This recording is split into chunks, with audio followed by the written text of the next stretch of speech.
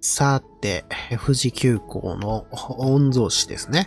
熱烈交際中だったと噂が立ったのが2017年の話ですけども、残念ながらそれを叶わずでした。デイリー新潮。前提ですね。過去さん、富士急行御曹司と熱烈交際中？マコさんが結婚となれば、妹カコさんが引くルージュの色に注目が集まるのは自明のこと。本当にそうでしょうか？熱烈交際中の富士急行御曹司が狙っていると噂されている。まあ、いい迷惑ですよね。恋大きいですよね、カコさんは。7人ぐらいですかね。男性といろいろ噂を流されたんですけども、特徴としましては、どの男性も強めに否定されてるんですね。だから本当に熱愛してたのかな？交際してたのかな？疑問ですよね。宮内庁関係者によりますと、宮邸です。時間を過ごすより自由でいたいというお考えがお強い。お年頃ということなんでしょうけども、常にそうじゃないですか。気候への反発というものは少なからずあるようです。考え方がもう普通の子なんでしょうね。ともあれ、中田町関係者、そんな過去さんについて、中田町関係者が言ってるっていうところが 肝かなと思いますね。政治的なつながりもあると思います。富士急の御曹司、堀内元光くんと交際されていると聞いています。あ、そこまで言ってるんですかね。元光くんの横顔を紹介しておくと、幼稚園から中学まで学習院と、学習院に付き合いがあったんでしょうか。高校からは慶応に転じ、経大法学部を卒業後にメガバンに入校されていると。その家系をたどると、父光一郎氏は富士急の社長。過去に、則宮様の花婿候補に挙げられたこともあると。さらに、光一郎社長の父、えー、三尾氏は元通産省で地盤を受け継いだのは自民党ののりこ代議士、元光くんの母親であると。うん、なるほどね。元光くんは学習院時代、まこさんと同級生だったのに、キコさんとはママ友として仲良くされていたようです。そういう付き合いなんですね。堀内家を訪ね、まずは光一郎社長に聞いた。マコさんがご婚約を知った時はこう言われました。お世辞だと思いますけど、大変素晴らしいことだと思いますと、大変驚きました。それは驚きますよね。あの男とか、同級生も誰も知らなかったんじゃないですかね。マコさんとうちのせがれとは同級生ですが、みんな LINE などで喜んでるようでしたよ。なかなか深い情報までお知りなんでしょうね。ご子息もマコさんのご婚約はご存知なかったんですか？全く知らなかったようですね。あんな馬の骨と結婚するとはびっくりですよね。カコさんとご子息が交際されている。笑いながら、してない全くありません。本人が一番驚いてました。一度も会ったことないんじゃないですかね。否定されてるんですね。一度も会ったことないって言われてるんですよ。こういう強烈な否定が入るんですね。あとは迷惑してるよとか、島津家に関しては、もう小室家とは円通期になるのは勘弁してくれと。そういうお話も出てるんですね。かなり嫌がられてるんですよ。後から出てきた、のりこ代議士にも正すと、本当におめでたい話でと、まあそういうしかないもんね。実は息子は転勤して日本にいないんです。それでなかなかね、はい、シンガポールに行ってます。息子はお目にかかったことがないと思います。本当に恐れ多い話です。先の関係者は、富士急は県誘致を長らく割安で賃借してきたと報じられたことがある。ある種の既得権を守るため議席は譲れないし、コースという認識の見方は願ってもないもののはず。共に海外生活に入ってルージュの色に移ろいがあるや否や。残念ながらこれは叶わずでしたね。ニュースポスト7で新しい記事が出てます。過去さん、かつて交際が噂されたお相手男性が結婚、え結婚してしまいました。これで、過去さんは完全に振られる形になってしまったでしょうね。新たなお相手候補報道も、もう一個富士急行の記事がありますね。新しい本命はいるのかこれまで過去さんには恋人と噂された男性が何人もいる。彼らのうち誰かと現在も交際中という可能性は捨てきれないと。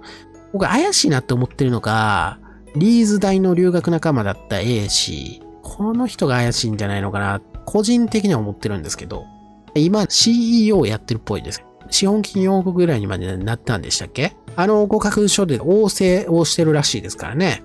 合格書って何のために使用するんでしたっけ？応請のためじゃなくて、職員の事務等であったり、倉庫だったはずなんじゃないんですか？あのー、男と 応請をするために合格書を使うのは、いかなるものかなって思います。11億ぐらいかかってますからね。過去の宮家ができた時もずっと住み続けるんだろうなと思います。ICU 在学中の17年には富士急行社長の長男で当時はメガバンク勤務の堀内くんとの交際が報じられた。元光氏は学習院初等科で眞子さんと同級生だったので、母である堀内典子氏は紀子さんとママ友であった。当時、元光氏は交際を否定しましたと。ですが、佳子さんと親しい間柄だったと聞いています。あそうなんですね。記事が出た際、彼は海外勤務でしたが、シンガポールですね。今は日本に戻っている。何より家から申し分ありません。そう言われてたんですけど、可能性はなくなったっていうことですね。さらに20年には、佳子さんとエイリーズ大学の留学仲間だった A 氏との交際が取り出された。いや、この人怪しいと思うんですよね。A さんは俳優の東出くんになんですけど、小室圭さんにも似てますと。どういうこっちゃ？二人の間にはかなりの差があるような気がするんですけど、かっこ笑いに書いてありますけど、かっこ笑いですよね。彼は帰国後に IT 企業を設立して CEO を務めており、将来有望な起業家ですと。実は、一昨年には A さんとカコさんが婚約するんではないかという情報が皇室記者の間で駆け巡りました。らしいんですね。その後、うやむやになりましたが、現在も連絡を取り合う関係であることは間違いありませんって言ってるわけですね。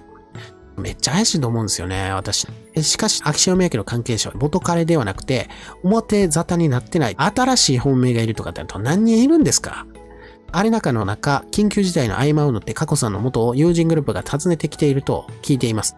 告白書に、その中に恋人がいる可能性があると考えてみますと。まだ別居前ですね、これは。佳子さんは恋人の存在が表に出ると相手に迷惑をかけてしまうというお気持ちが強くグループ交際を心がけているんでしょう。ただし、秋篠宮邸に招いているとすれば、それは秋篠宮さんや紀子さんにご紹介している可能性もあります。それゆえに、いつ婚約発表があってもおかしくないんですって言われてますね。本当に秋篠宮家に嫁ぎたい人なんていらっしゃるのかな？小室があんな目にあったんですよ。ニューヨークにトンザラ国しかなかったんですよ。あまりにも炎上したから、まあ、逃がしたんですよね。そうならざるを得なかったんですよね。その二の前って起こると思いますから、そこに、突っ込んでいくっていうのは相当たる幅でないといけないですね。なおかつ、メリットありますかって言ったら、そんなメリットもないんじゃないのかなと思いますね。皇室に近づけるのはそうですけども、イメージが悪すぎるじゃないですか。で、なおかつ、皇室利用もかなりしづらいでしょうし、そんなとこに突っ込むのかな？え、かこさん、内面はスカスカなんじゃないのかなっていうのは正直思ってますし、外面もかなり頑張られてはいらっしゃいますけども、ニュースポストセブン、帝国ホテルクジャクの間、かつて黒田沙耶子さんの結婚披露宴が開かれた会場に、岸田さんが姿を見せたのは、都知事選の投開票前日の7月6日、岸田さんまで来てるんですね。これはすごい結婚披露宴なんですね。この日は、秋篠宮家の次女、佳子さんの交際相手と取り出された男性の結婚披露宴だった。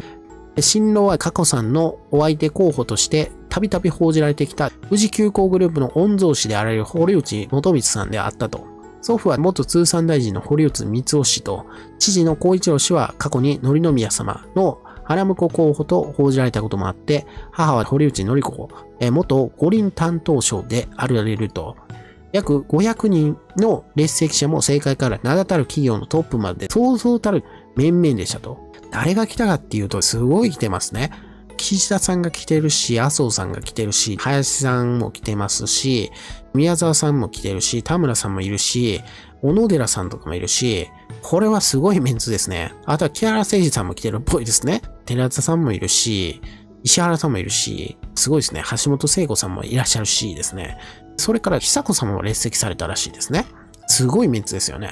新郎の友人代表は安倍晋三元首相の老いの岸、えー、信千代代議士で、同じテーブルに岸田首相の長男で秘書の翔太郎氏もいた。翔太郎君もいろいろ問題ありましたけどね。観光したんですよね。公費で。合流したみたいな話ありましたよね。約4時間の豪華な披露宴には、政財界の大物たちも簡単の声を上げていた。すごいですよね。500人も集めるってなると相当なお金になるでしょうし、さすがの披露宴だな。本当はこれ、過去さん出なかったのかもしれません。引き出物には、ボンボニエールもあって、皇族さながらの華麗なる一族の宴でしたね。かたや最近では過去さんも、800年以上の歴史を持つメーカー、島津家の御曹司が新たなお相手候補と応じられている。でも、この方も否定されてるんですね。100%ないと言われてるんですよ。過去さんは、もうまた暗闇の中に行ってしまった。やっぱり CEO ちゃいますの。まだ続いてるんちゃいます？どうでしょうね。タイミングとしましては、久人君が東大入ってからでしょうね。東大残念ながら入るんじゃないんですかね。相当炎上すると思いますけど、その後に婚約発表とかそういうことになるんじゃないんですか？そんな気がします。この辺もビッグニュースの一つとして挙げられるかもしれません。来年になるでしょうね、多分。今年のビッグニュースは久しくんの東大炎上だと思います。島津家ですね。高円宮家の次女、のりこさんが、出雲大社の宮司の千家国丸さんと結婚されたように、女性皇族のお相手には多くの人が知る旧家とのご縁が浮かびます。紀子さんが高円宮家公を狙ってるらしいですからね。女性皇族の結婚は私的なことですので、法律的にはどんなお相手でも問題ありませんと。私的なことではないと思いますよ。公的なことだと思いますし、マコさん皇族でしたよね。一応皇族だったんですから、基本的人権は必ずしも守られないんですよ。国民とは違いますから、国民が納得し得る結婚相手でなかったらいけなかったと思うんです。皇族に賛成権ありますかって言ったらないですから、国民の権利みたいなものは必ずしも保障されない信教の自由があるかないですよね。特定の宗教に肩入れされたら困るんですよ。だから国民の自由もないわけです。やっぱり小室圭さん、あそこまで反発されたんですよ。それは国民の意見を飲まないといけなかったんじゃないんですか？ただ、マコさん、小室圭さん、国民の祝福という理想から離れてしまったこともあって、過去ない親王殿下も慎重になるところはあるでしょう。いやー、慎重にならないと思いますけどね、似たようなものを引っ張ってくるんじゃないですか。30を迎えられる過去、内親王殿下の選択に注目が集まります。僕の予想ですけど、ろくな相手引っ張ってこないんじゃないのかな。多分皆さんも思ってらっしゃるんじゃないのかな。似てますからね。姉みたいな目利きになるんじゃないのかなと思います。目利き力ゼロですよね。以上です。それでは皆様ご一緒に地下室お疲れ様でした。はい、ありがとうございました。バイバイ、さよなら。じゃあね、地下室。